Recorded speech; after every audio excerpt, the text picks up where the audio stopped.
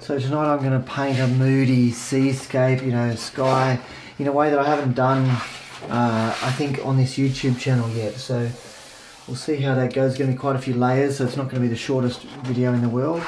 And um, I'm going to paint it in this orientation because this is uh, an orientation that I have painted a lot in the past. I haven't so much on YouTube because it's not a great orientation for the uh, screen, but it's a great orientation. I used to sell a lot of these in the galleries because,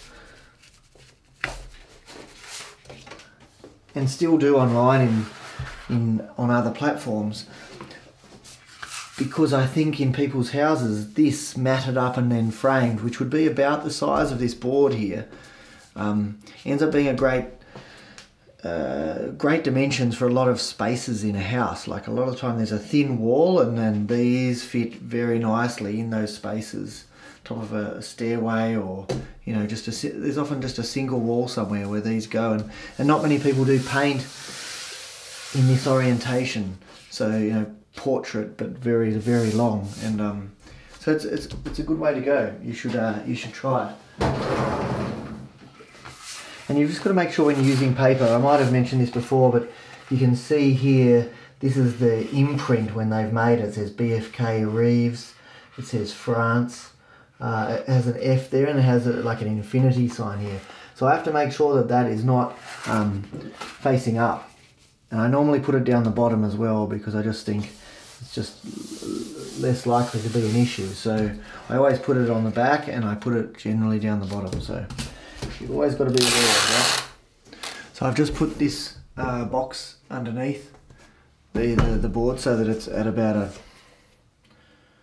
I don't know 15 degree angle or something like that.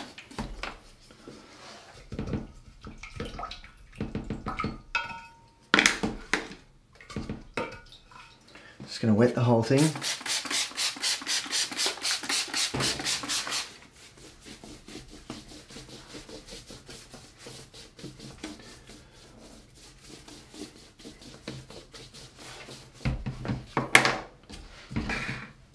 I'm just going to start with cools instead of warms.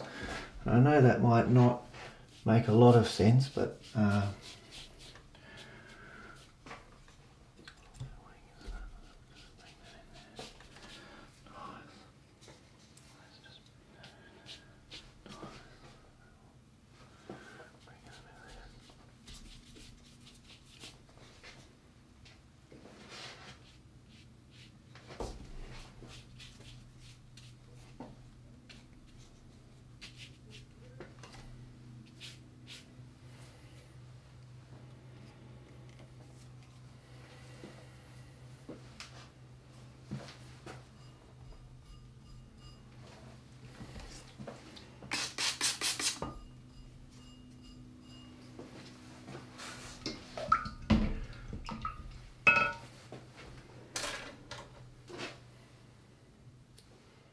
Alright, so I'm just going to dry this now.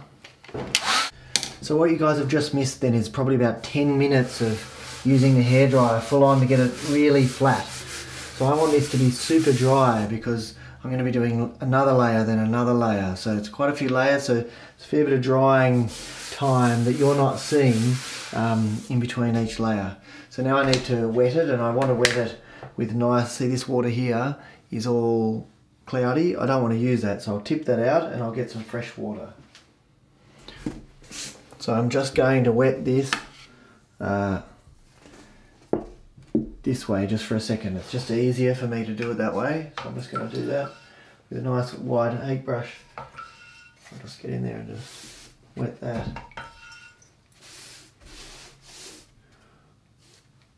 Alright. I've disturbed it a bit. I probably put the brush over one too many times in, and you can see that. That's okay. The other way I could have wet it is just pour water over the top, and I do that sometimes. I'll demonstrate that some other time. So I'm, that was cobalt blue. That was a mix of cobalt blue and light red, as was that. A bit of cobalt blue there. Now I'm coming in with some yellow ochre over the top, okay?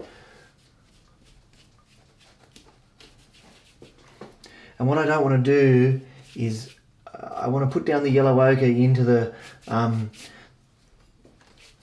the white spaces first before I start doing much else. Um, because if I start painting up here with yellow ochre, it'll pick up a bit of that blue and then I'll start laying it down elsewhere, which is fine, unless I want uh, pure yellow. So this is where I can just start to build up some layers. I'll get some cerulean blue here.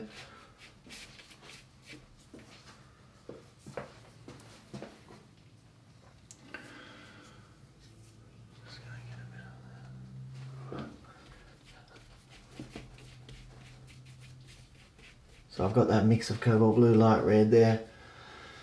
I'm just trying to darken some dark areas.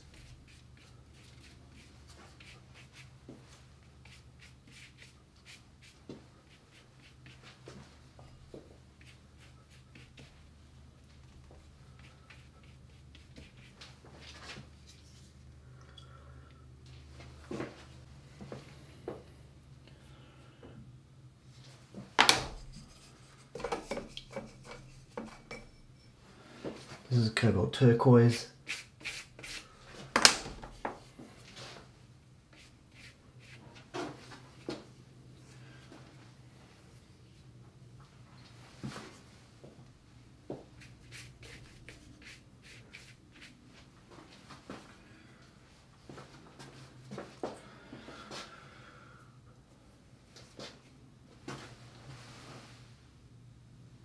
A little bit of Winsor blue, red shade and light red. It's pretty dark.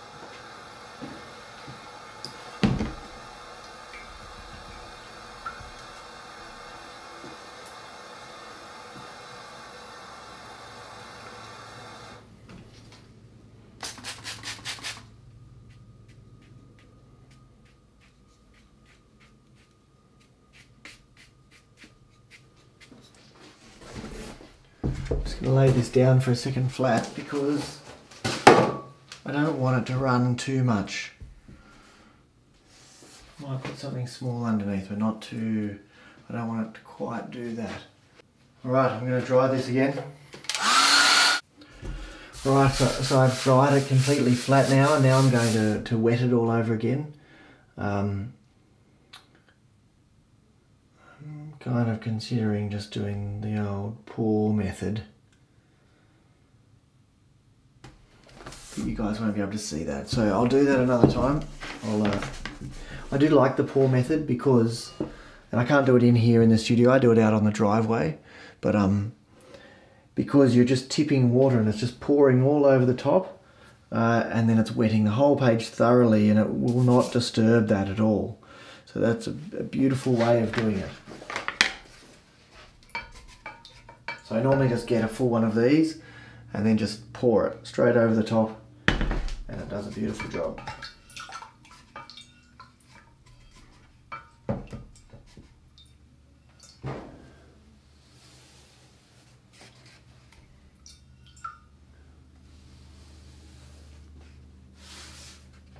Alright, I'll do.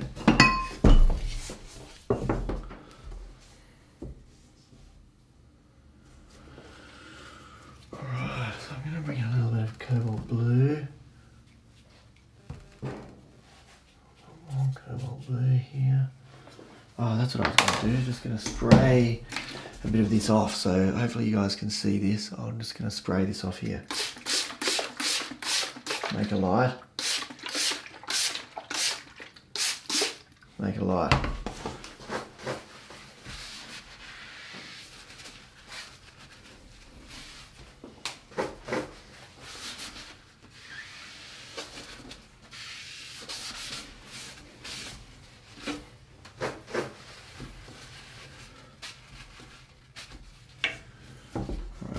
Going to make a light actually, that's good.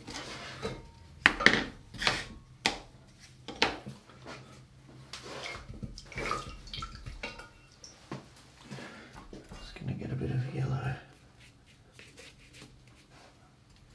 Ochre.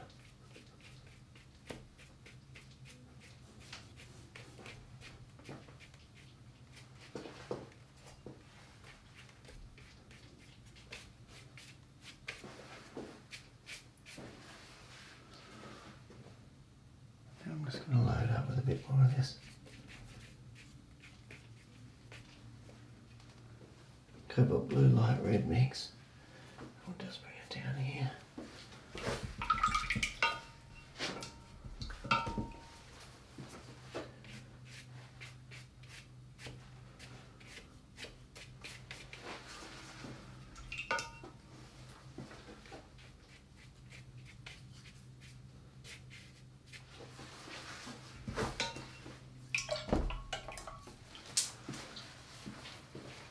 Just a very light bit of yellow over there.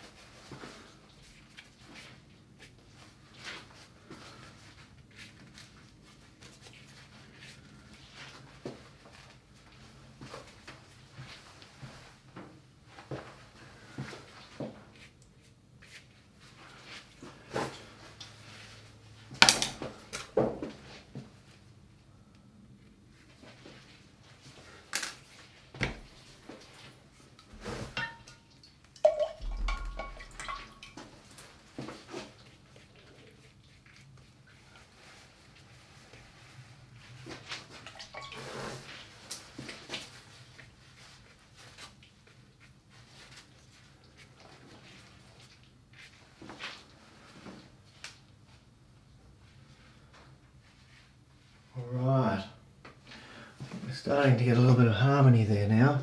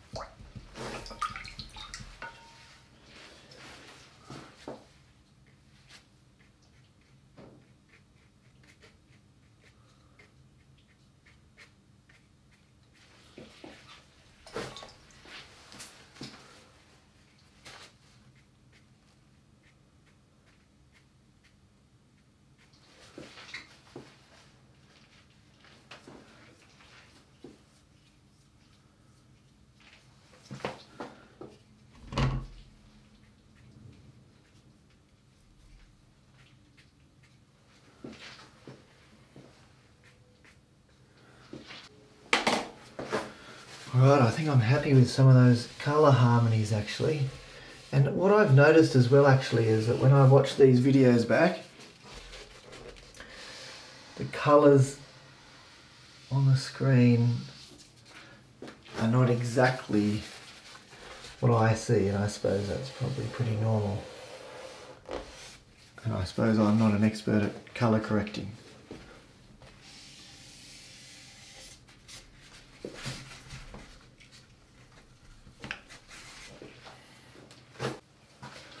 Alright, I'm just going to dry this.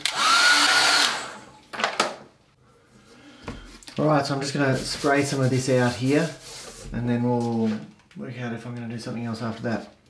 I'm actually going to tilt it even more than that. Hopefully you guys can see a bit.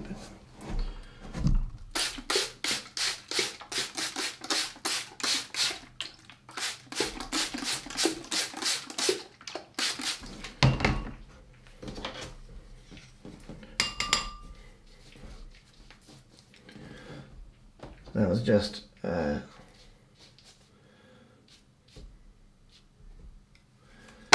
uh, that was just yellow ochre and then raw umber.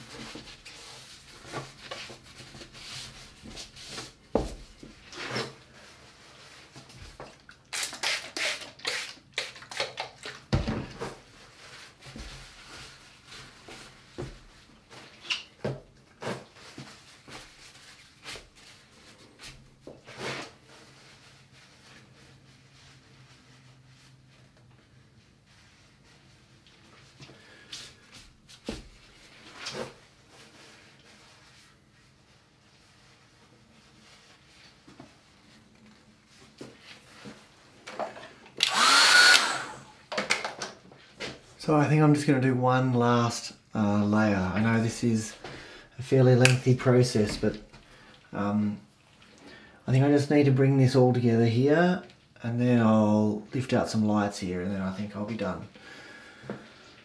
So instead of waiting at this time, I'm just going to lay in uh, some pigment with a brush with a fair bit of water on it. So uh, we'll just lay this in and then what I'll do is I'll come along with a brush with uh, just pure water and I'll just feather that as I go so.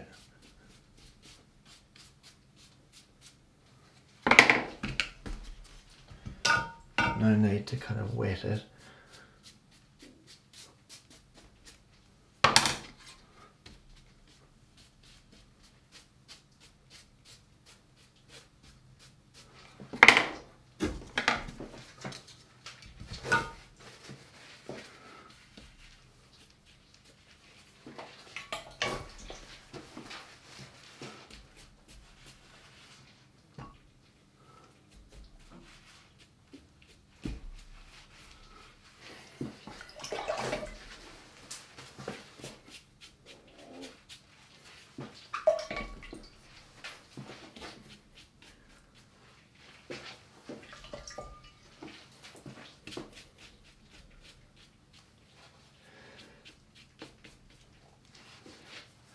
one of the disadvantages of not wetting it. You can start to have some um, hard lines if you're not careful. Or start to lift the paint out if you start trying to go back over it too much. So yeah, it's, it's, it's, it's just trying to bring a little bit of cohesion to this.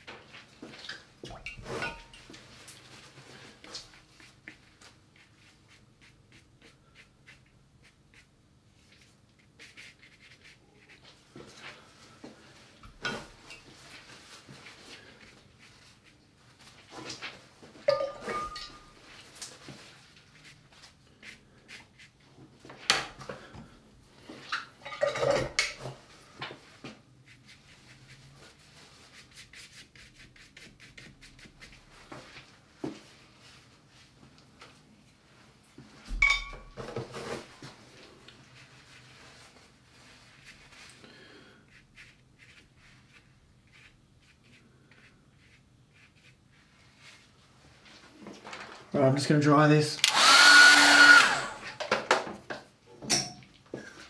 All right. So,